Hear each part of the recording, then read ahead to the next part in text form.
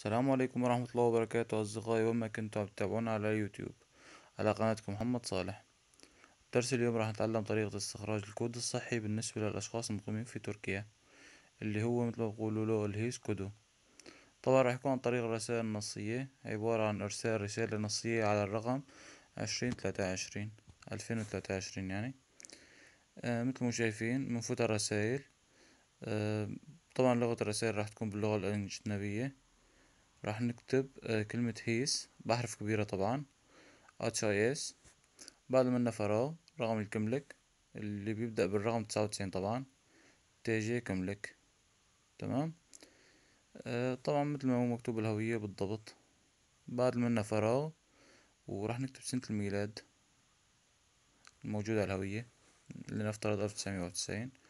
بعد منا فراغ وعدد الأيام مطلوبة. إن كان عشرة أيام خمستاش يوم. هاي بنختارها من كيفنا يعني. شو ما كان عدد الأيام اللي بدنا إياها. مثل ما شايفين أصدقائي بنرسل رسالة على الرقم مثل ما قلنا اللي هو ألفين تلاتة وعشرين. وبننتظر الرد ممكن يتطور الرد عشر ثواني أو حدود الدقيقتين ثلاثة. مو أكتر من هيك طبعا.